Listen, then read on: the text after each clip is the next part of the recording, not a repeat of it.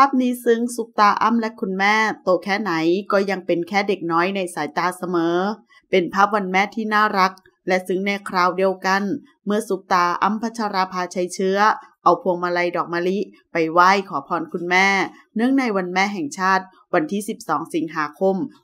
2565 นี้ พร้อมอวยพรคุณแม่แบบทั้งน่ารักและฮ่าฮาตามสไตล์ของเธอว่า สวัสดีวันแม่นะคะ มีอะไรจะให้ลูกไหมคะ เล่นเอาคุณแม่แอบอยากจะมอบมังเอกให้เป็นของขวัญไปหนึ่งที่ ถือว่าเป็นคลิปที่ดูแล้วซึ้ง และต้องยิ้มไปตามๆกัน